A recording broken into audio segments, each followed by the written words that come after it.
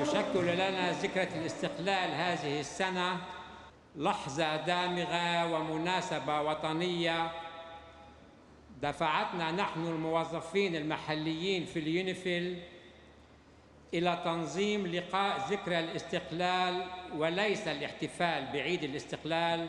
يحدونا إحساس عميق بالولاء والوطنية إذ نستغل هذه الفرصة اليوم لتكريم جميع شهدائنا الذين سقطوا دفاعا عن القضية الكبرى ألا وهي وجود لبنان وبقائه Today we are commemorating Lebanon's independence in a time of pain and sorrow.